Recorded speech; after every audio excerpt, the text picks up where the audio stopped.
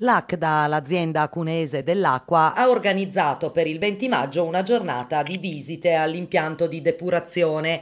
Noi ne parliamo con l'amministratore delegato, la dottoressa Manuela Luciano, che è venuta oggi a trovarci in frequenza. Bentrovata. Buongiorno Mariella e buongiorno a tutti gli ascoltatori. Abbiamo detto il 20 maggio c'è questa visita guidata. Vuole farci qualche anticipazione? Come si svolgerà? Sì, allora l'azienda cunese dell'acqua ha organizzato per il 20 di maggio una visita guidata all'impianto di depurazione di Cuneo. Ci saranno tre momenti nella giornata, due la mattina alle 9.30, alle 11 e, e una nel pomeriggio alle 15. La durata della visita sarà indicativamente un'ora e mezza e si svolgerà all'interno dell'impianto di depurazione con un breve passaggio finale, insomma, di una mezz'oretta circa, al laboratorio. La visita ovviamente dovrà essere prenotata, sarà accompagnata dai dipendenti che colgo l'occasione per ringraziare per la loro disponibilità e la loro professionalità. Eh, sarà necessario prenotare ai numeri di telefono io mm, magari li lascerei così anche se gli ascoltatori volessero partecipare. Certo, assolutamente eh, sì. 0171 326804 e 0171 326829.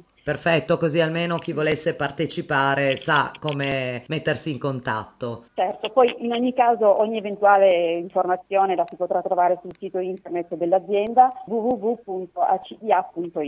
Come nasce, dottoressa Luciano, l'idea di permettere così ecco, alla cittadinanza di venire a visitare l'azienda cunese dell'acqua? L'iniziativa nasce dalla volontà di, di far conoscere più da vicino a tutti i cittadini il ciclo idrico e in particolare il viaggio che compie l'acqua dal, nel suo ritorno in natura, quindi dal, diciamo, dal rubinetto al fiume. Lo scopo della giornata non è solo quello di spiegare il funzionamento dell'impianto di depurazione, insomma, peraltro impianto che è stato poi recentemente potenziato, che serve non solo al comune di Cuneo, ma serve 17 comuni per un complessivo di abitanti di circa 185.000. Ma lo scopo è soprattutto quello di far conoscere a tutti i cittadini le fasi del processo depurativo, cioè affinché veramente ciascuno di noi si possa rendere conto di quanto è protagonista in questo processo. Il percorso educativo, diciamo così, no, rivolto un po' a tutte le fasce d'età, perché poi in realtà siamo tutti utenti e tutti utilizziamo l'acqua e quindi in qualche modo